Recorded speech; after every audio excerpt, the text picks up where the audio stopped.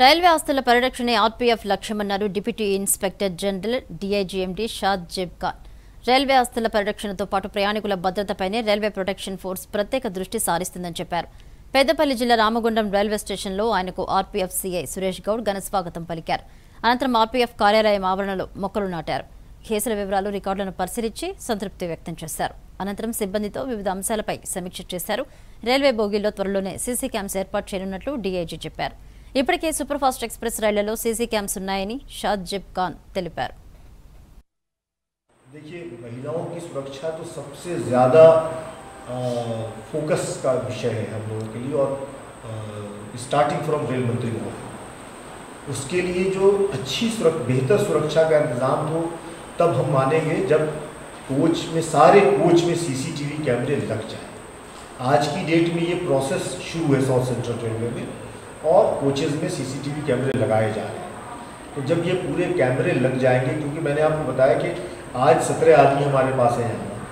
ये अगर 170 भी हो गए, तब भी हर ट्रेन के हर कोच में आदमी मौजूद नहीं रह सके। तो इसका मतलब ये है कि पहला कैमरे हो जिससे एक प्रिवेंशन हो, डर लगे क्रिमिनल्स को, बदमाशों को। दूसरा यात्रियों को उनकी सुरक्षा के बारे में जागरूक करना।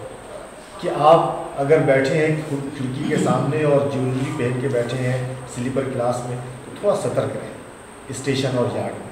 तो उनको जागरूक करना ताकि वो भी हमारा हाथ बटाएँ और हम और हमारी जो सिस्टर एजेंसी है जीआरपी इनके साथ मिलके मैपिंग करना कि कौन सी ट्रेन सबसे ज़्यादा अफेक्ट हो रही है, जिसमें महिलाओं की सुरक्षा ज़्यादा खतरे में पड़ रही है। उन ट्रेनों को ज़रूर सुरक्षा प्रदान करना स्पॉटिंग करना starting passenger is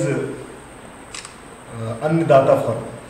And there for when a passenger complain this is what I was stressing all my jawans officers now that this is an opportunity to get their blessings and unless passenger is happy it is not that and when we have to do more than our return duty देखिए, महिलाओं की सुरक्षा तो सबसे ज़्यादा focus का विषय है हम लोगों के लिए, और स्टार्टिंग फ्रॉम रेल मंत्री महोदय उसके लिए जो अच्छी सुरक, बेहतर सुरक्षा का इंतज़ाम हो, तब हम मानेंगे जब कोच में, सारे कोच में सीसीटीवी कैमरे लग जाए। आज की डेट में ये प्रोसेस शुरू है साउथ सेंट्रल रेलवे में, और कोचेज़ में सीसीटीवी कैमरे लगाए जा रहे हैं। तो जब ये पूरे कैमरे लग जाएँगे, क्योंकि मैंने आपको बताया कि आज सत्रह आदमी हमारे पास हैं। ये अगर 170 भी हो गए, तब भी हर ट्रेन